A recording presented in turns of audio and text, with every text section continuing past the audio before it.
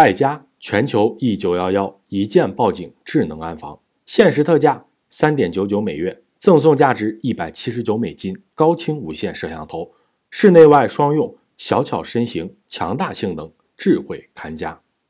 关于回国政策以及赴华的机票信息，自疫情逐步放开以来，一直是所有海外华人都在关心的大问题。不少人都期待着能够等到一张便宜的机票，顺顺利利的回国与亲朋团聚。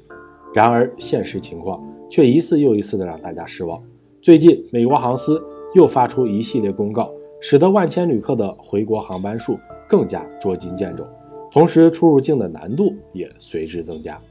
根据资深旅行信息综合网站 View from the Wing 的消息，美国海关与边境保护局 CBP 递交提案，要求所有乘坐美国航班的乘客需提供在美地址、两个电话号码和电子邮件地址。任何不遵守或不能提供以上信息的乘客将被拒绝登机。不过，提供联系方式是指美国还是中国？提供两个是否需要后期联系？目前还没有官方的通知，可以再等等看具体的要求。目前进出中美采用的防疫政策是三月十号开始实施的最新规定。美国疾病控制与预防中心取消了中国，包括香港和澳门特别行政区的航空乘客在登机前往美国之前必须出示新冠肺炎阴性检测或恢复证明文件的要求。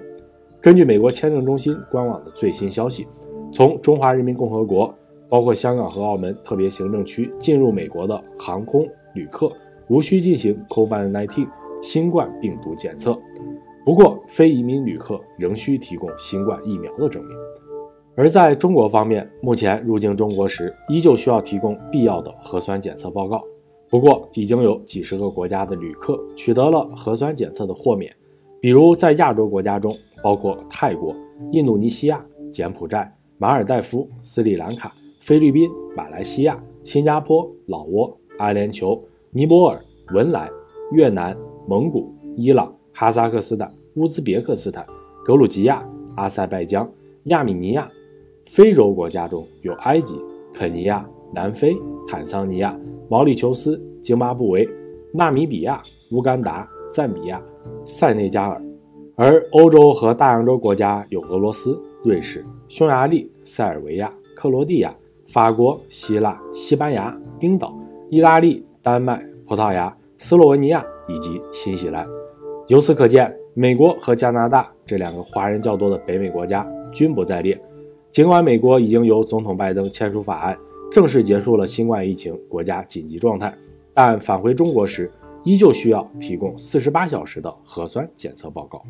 说完这一系列的回国政策，我们接下来看一下大家最关心的一个话题，那就是目前的回国航班。很遗憾，在暑假旺季即将到来的这个节点，在赴华航班上并没有什么好的消息。不仅没有好消息，还可以说有一条坏消息，那就是美国航空取消了两条计划本来要开始执行的赴华航线。根据 Flight Global 的消息。美航已从其航班时刻表中删除了两条计划中的赴华航线。